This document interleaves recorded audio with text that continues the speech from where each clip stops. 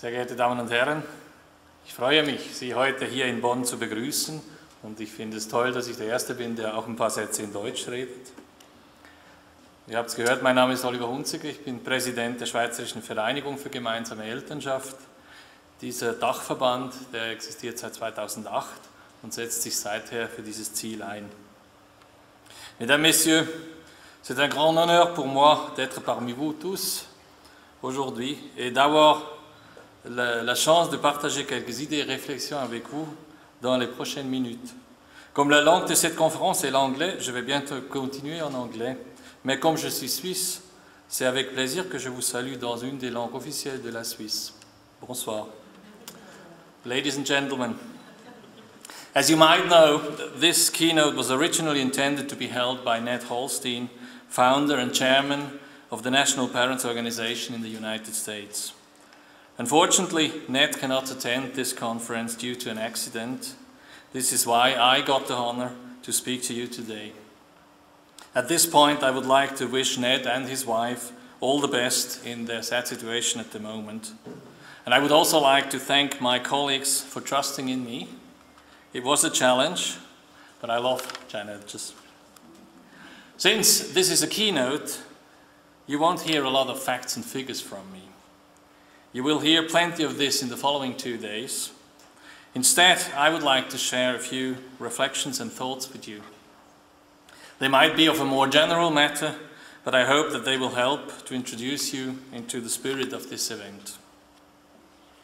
Switzerland has just gone through some very important changes in family law in the last few days. Within the days between end of June and beginning of July, we have seen the activation of the new law for joint custody, the discussion in Parliament about the new law for child pensions, and a very large symposium on the future of families in Switzerland called Future of Families. All of this has a lot to do with this event here. It has also a lot to do with the work our organizations are doing. 25 years ago, I was studying law for a little while. I didn't finish, that's why I say it like this. we were learning there that the law is a very slow moving matter. Changes usually happen slowly. 15 to 20 years for a change would be absolutely average. Families, on the other hand, are highly dynamic constructions.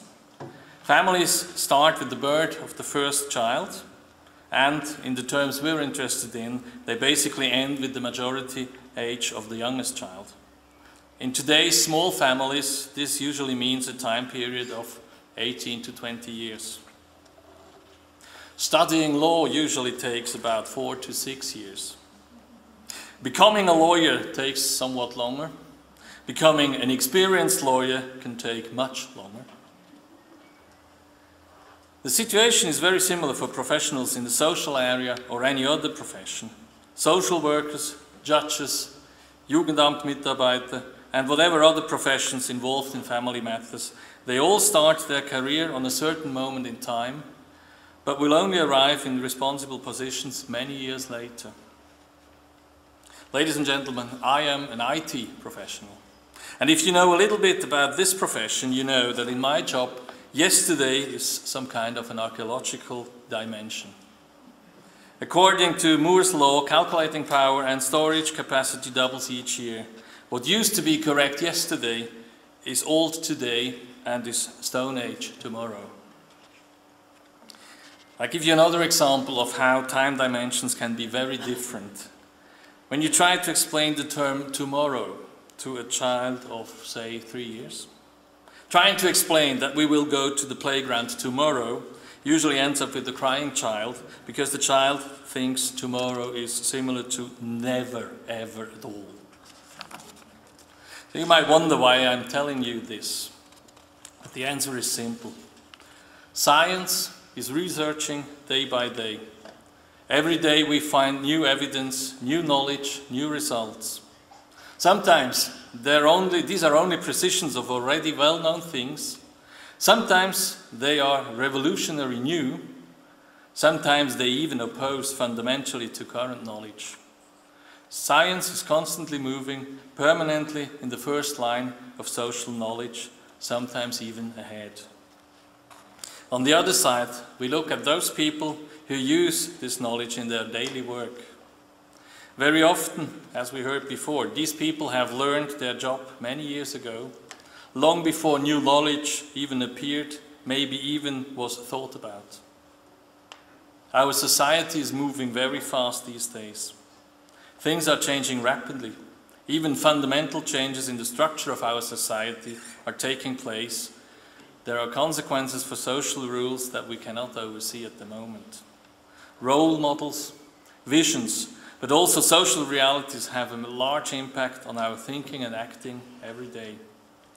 Family, in no matter what form, is considered to be the kernel of our society. Therefore, family is naturally affected by such changes immediately and heavily. Social, social stress fields between work and life, between career and family, family, between the need of earning money and the wish for self-realization, all this tugs and pulls on all members of a family. Today, young fathers want to involve themselves in the family, but the need to work for money stops them from doing so as well as the probably old-fashioned but still very active idea that men should work 100% or even more. Young mothers, on the other hand, would like to continue in their profession also after the birth of a child, but they get stopped by the lack of childcare institutions. Worse even, they often get pushed into a so-called housewife life by wrong signals by the law, not encouraging not encouraging them to search for other solutions. And of course, high above all these wishes of mothers and fathers, there are the needs of the children. Children need care, but they also need food and clothes, which means there is a need for money. Between the wishes of young fathers and mothers, the need of the children, and reality in courts and official offices, there is a large gap. Claim and reality often don't fit with each other. I'll give you an example. The Swiss law uh, on divorces was modified back in the year 2000. Unfortunately, there was a major error in this revision. I will come back on the details later on. Shortly after the new law was installed, this error was found. It was also recognized very soon that this is a major error, a central mistake, something we would call in IT a bug. But unlike Microsoft and others, the government does not issue updates and patches. Instead, it took us 14 years to eliminate this mistake. It has been eliminated by the new law that got active on July 1st this year. And you know what? All the lawyers involved are talking about the incredible speed of this revision. If we take, for an example, a child that was born in 1995, having its parents divorcing in 2001, this child would have been suffering from this major mistake almost all of his childhood. The correction in 2014 would not help him anymore due to the fact that the child is not a child anymore, but an adult. That's what lawyers call a speedy revision. So let's assume that science usually is ahead of society. Well, at least I hope they are. Let's also assume that professions tend to stay with standard procedures, also known as best practices, but we could also call it conservative attitude, meaning that they might be in their daily work a little behind social developments due to further reasons. If these two assumptions are true, there is a gap. This time between the level of knowledge science has and the knowledge level used in day-to-day -day work with families. This would probably not be too important if it was in a different business, but in family business, all those families that are in the middle of, of a difficult situation will end up deep down in exactly that gap. No other aspect of civil law affects us as deep as the family right maybe the bank secrecy in Switzerland, but that's another story. All of us are affected by family law. No matter whether we vote left or right in politics, no matter whether we are children, young adults, mothers and fathers, or even grandmothers and grandfathers, we are all concerned by family matters, or to say it simple, we are family. We are all sitting in this big gap between science and reality in one or the other role.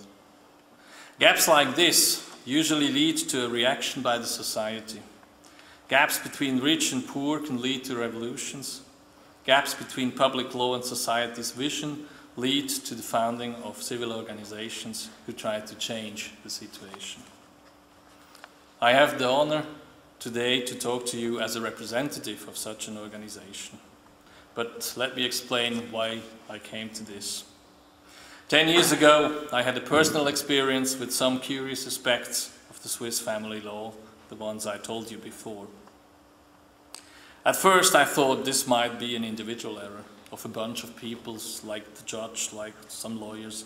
But soon after that, I had to realize that the mistake was by design, therefore happens everywhere and very often. A Swiss law that was changed back in, in, the year 2000 did not install joint custody or even joint authority as a standard. Instead, we had a possibility for joint authority through a common application by both parents. Without that application, parental authority and custody would usually go to the mother. Putting these two points together, it became almost immediately obvious that it would not work in many cases. If you need a common application from two people, but one of them has an almost guaranteed ticket to win, it will be very difficult to get to such a common application in case of trouble between the two people. Power plays or even extortion and other bad games would obviously happen just because they could happen. Together with many other colleagues and fellows, we have fought for a change in attitude, in social awareness, and finally in the law. This change has become real last week the new law for joint parent authority, as I said, was installed on the 1st of July. When we started years ago, the gap between science and experts was rather small. Science usually confirmed the attitude of courts. Only society, in the society there was an increasing number of voices claiming that the situation was not correct, not compatible with social, social needs anymore, due to changing realities in society. Scientists started to take note of this change. They began to research in different directions, finding a lot of evidence in all sorts of scientific areas pointing towards parenting, shared parenting. The attitude started to change, not because of lobbying or whatever, but because of scientific evidence that showed new results and new directions. But courts and other professional organizations did not pick up this change for a very, very long time. This is where the gap began, and that's where civil society started to play their role. But now, before all representatives of social professions leave the audience, let me point out clearly that everything I said should not be considered as an attack against people who are working in those positions. Of course, these people are not conservative or behind times. Of course, they know about changes in society. After all, they are a part of society. And of course, most of the people in these jobs are constantly learning and adapting new knowledge. But nevertheless, like in many other professions, day-to-day -day work tends to change very slowly. Often it is simply very difficult or even not possible to change well-approved workflows Legal requirements may block a lot of positive changes as well. The range of possibilities to, have, to, to deal might be very tight and leave no room for radical changes. So, although people might know about what should be done, they simply can't due to outside impacts. Therefore, the job for organizations like ours takes place on both ends, science and professions. On one side, we have to make sure that scientists know about the needs and the difficulties of the people. They need to have questions in order to search for answers. On the other side, there's also a need on the executive side to explain the needs, show up the difficulties with the current situation, and explain possible ways out. And last but not least, it is the duty of our organizations to recognize the restrictions and possibilities of the current law, to compare them with the actual level of knowledge in science, and to figure out the differences. And of course, not only to figure them out, but to become active in changing the law in order to eliminate these differences. I would like to show you this uh, with a little example again from Switzerland. For the last years, years, uh, our organizations have worked a lot to explain the concept of shared parental authority in our country. As I said, this was not established as a standard until very recently. The work we did was very difficult and sometimes even annoying. We collected examples of real situations during our consulting work for parents affected by the consequences of separation and divorce. We focused, we focused on issues related to children. We did not involve ourselves into fights about money or other things. While helping these parents, we learned a lot about widespread opinions in courts and other official organizations we started to realize where mistakes come from, where bad decisions usually happen, and also why they happen. Then we started to search for scientific evidence of the ideas we had developed. In the beginning, as I said, that was rather hard. But with time, more and more evidence was found that showed that what we were claiming was not completely wrong. So we turned back to the professionals trying to explain them what we had learned from scientists. Sometimes they would listen to us. Many times they would not, unfortunately. So again, we started to figure out what would have to be changed in the law in order to make sure that the scientific evidence would also flow into everyday decisions of professionals. When we talked about joint parental authority back in 2005, nobody would understand us. We were told that this was an illusion. We were told that living with the mother would always be the best for children. We were also told that the father's influence on children is very little, almost to be ignored. All this was by then, of course, backed up by the respective science work.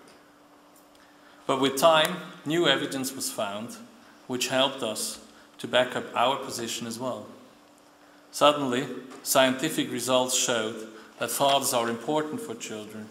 Raising up children with women, with women alone was not the very best concept, and so on, and so on.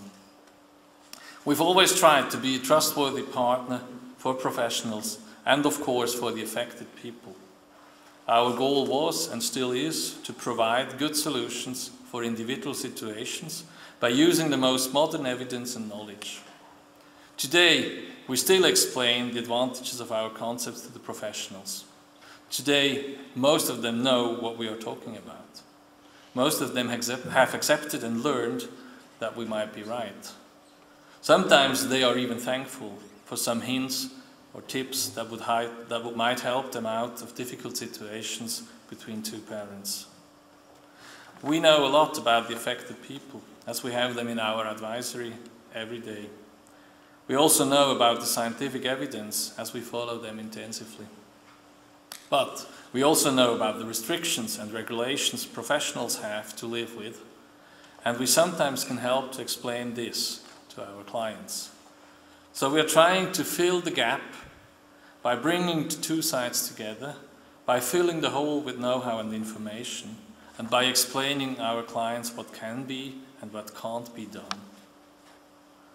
The new law on joint parental authority has brought Switzerland from the very rear end in Europe to a little bit ahead.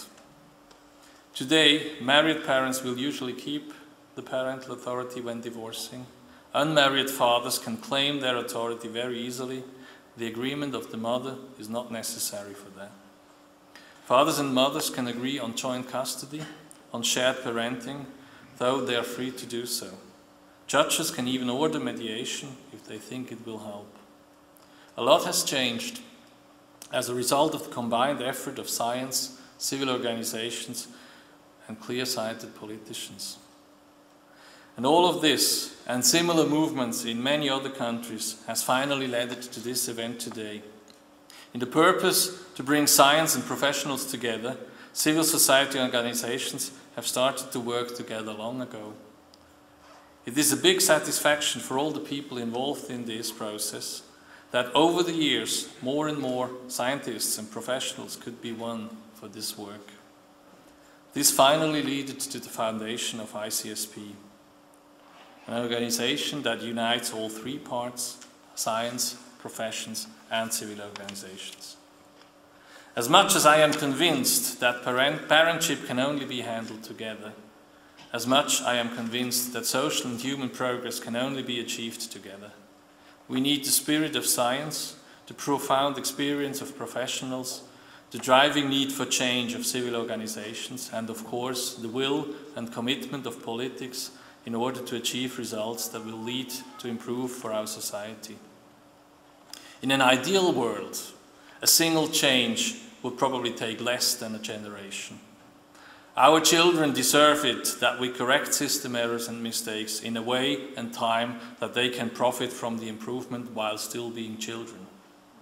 This is why you and I are here today. We want to share knowledge and experience, discuss evidence and conclusions, create relations between each other, and after all, find out together which concepts could work, which path could lead to improvements. Messieurs, dames, Liberté, égalité, fraternité. Ce sont trois mots qu'on apprend à l'école en Suisse. C'était le cri de guerre d'une révolution de la société contre une minorité. Mais ce sont aussi des mots très importants. Chacun et chacune doit avoir le droit de vivre en liberté. Chacun et chacune a le droit d'être traité égal, n'importe de quoi il s'agit. Chacun et chacune a le droit, mais aussi l'obligation de faire partie dans l'amélioration de la société selon ses moyens. Pour avancer comme société, comme humaine même, il nous faut la fraternité, non seulement entre les frères, mais aussi entre frères et sœurs, entre humains. Il faut travailler ensemble pour arriver au but commun, comme dans les premiers jours devant la Bastille. Meine Damen und Herren, auch wenn Deutschland gerade besser Fußball spielt als Brasilien, so kann Deutschland sicher im Familienrecht von Brasilien lernen. Oder England von Frankreich oder die Schweiz von Schweden. Egal welche Sprache wir sprechen, egal welche Trikots wir tragen, wir alle wünschen uns für unsere Familien nur das Beste. Gemeinsam sind wir in der Lage, das zu erreichen und darum wünsche ich uns allen eine gute und fruchtbare Tagung. Dankeschön.